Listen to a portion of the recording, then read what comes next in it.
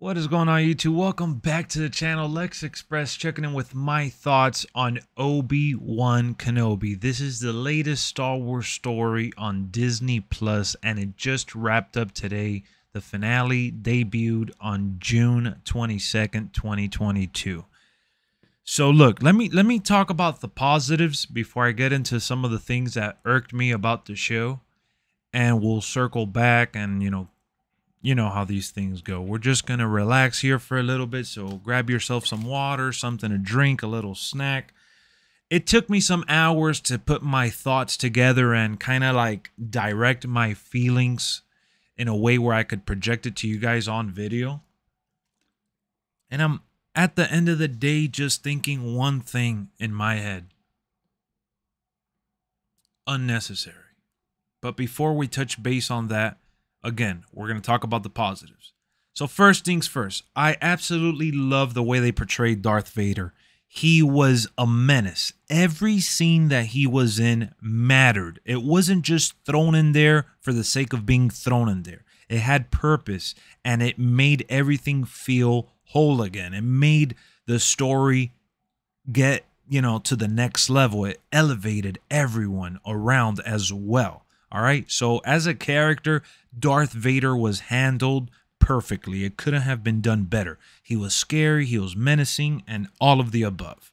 And then Obi Wan Kenobi, on the other hand, it's a journey of him kind of finding himself again, right? And and every moment that he had, it, eh, not that it, it it mattered, but at the same time that it just got dragged.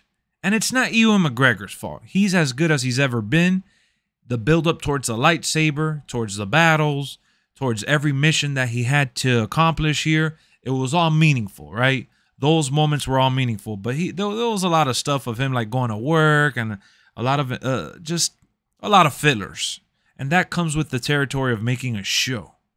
And then we got Reva here, who people bashed and talked crap about her, and they were racist and super nasty towards her. I thought she did a phenomenal job. All right, let me just put that out out there. The third sister, Reva from the Inquisitors, was awesome. She was one of the highlights of the show. She didn't bother me. I thought the story they made for her was predictable, right? I I, I felt like they were gonna go in the direction they ended up going on with her, but it was fun to see either way. We hadn't really seen something like that. So Reva was done justice as a new, fresh character. Thought she was presented very in, a very cool way and the actress that played her did outstanding. So awesome job there. And then we have Ewan McGregor you know showing how he's getting to that new hope old Ben Kenobi right? It, it really shows him transitioning throughout the show and not only uh you know kind of becoming a Jedi again but being a wise one once more. So I really enjoyed that element, right? I really, really enjoyed that element. But back to Darth Vader. He's the one that sealed the deal. Ultimately, if it wasn't for Vader, this show would have been forgetful and we wouldn't even be talking about it, honestly. You can't have this show without Vader, and I'm glad that they did it the way they did it. But, but, even though they got good kids to play Luke and Leia and you know everything was handled with care for the most part I feel like there's been so many stories that have been far better in terms of having a protector and a child that needs protection. You know, I could go even and mention The Mandalorian, which has a similar plot. I feel like they just did the same exact story, but kind of in a different way. And they utilized, you know, the original trilogy as the core of Obi Wan Kenobi.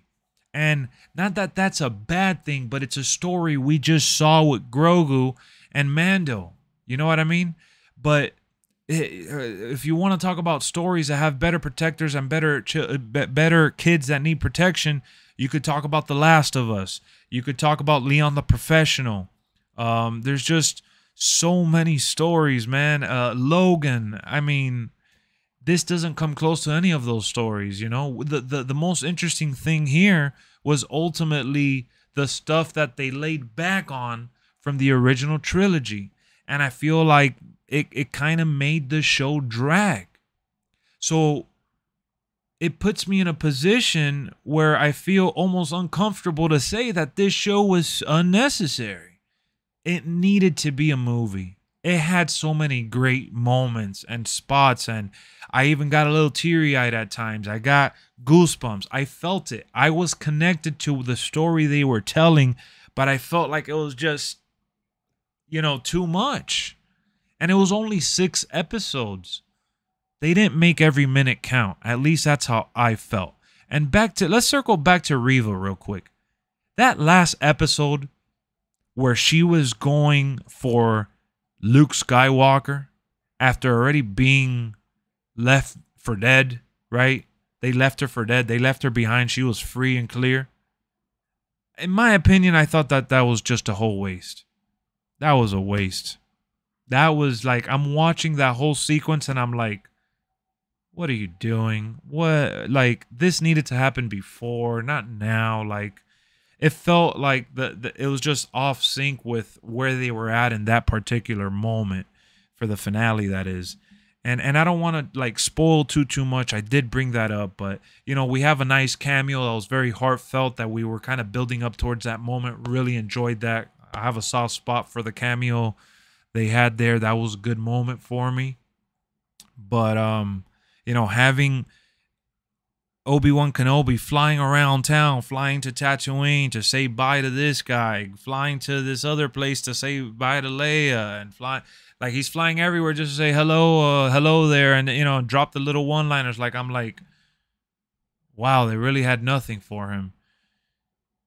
I like it. I, I I I like it as a movie. If you're able to cut this show and turn it into a movie, it, it would have been spectacular because you're able to see how he got over the Anakin uh you know transformation you were able to see how he was you know coming into his own and, and, and bringing peace to himself after what happened with the whole Anakin Vader situation it was him making peace that's what the show's about along with protecting Leia and Luke and things like that so for me it just felt like it could have been epic as a movie, and I can't help but wonder what it would have been, right?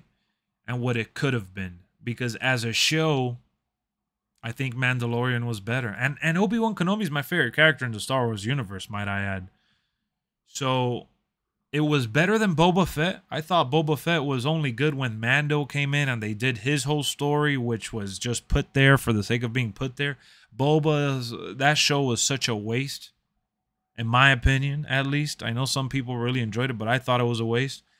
And you know, this is coming from a person that's not really a big TV show guy, but I loved Mandalorian. Mandalorian turned me into a fan of the idea that we could make Star Wars stories into small TV shows, but um, small in terms of episodes, not because of the budget that they spent on it, but um, Mandalorian had its fair share of nagging issues. It, it, it had filler moments as well, but the overall arc and the meaning behind the story felt very significant. This story didn't really feel significant, even with all the stuff that they used from the prequels.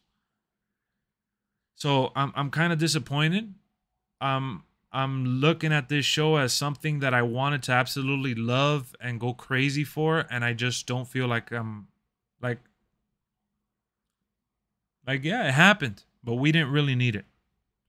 And I'm not one to say that too. Let me add this here too. I'm not really one to say that. I typically like when things get recycled and we see our our old favorite characters come back with the same actors and you know like the whole vintage nostalgia stuff. I'm a sucker for that. And this show had me. There's moments in this show that I legit absolutely loved that I'll give a 10 out of 10. The way that they orchestrated certain fight sequences were awesome, but I feel like this show, if anything, it created more plot holes for the franchise than it did anything else. The arc wasn't necessary.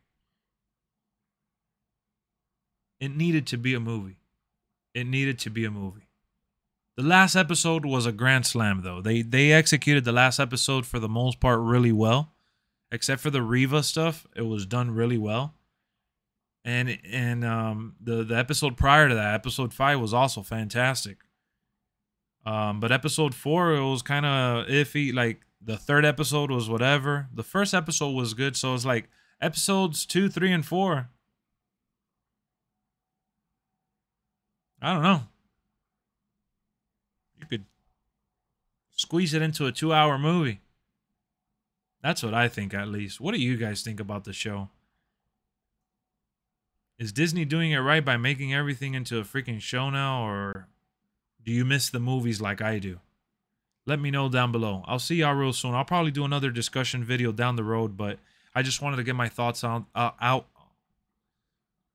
Look at me. I can't even speak right now because I'm just heartbroken. I'll see you on the next one, all right? Uh, 1 through 10. 1 through 10. Hold on. I almost forgot. 1 through 10. I gotta give it like a seven out of ten or eight out of ten, something like that. Because I think Boba Fett to me was like a six or a five. This is probably like a seven or eight. My expectations were really crazy, and that's my fault. That's my fault.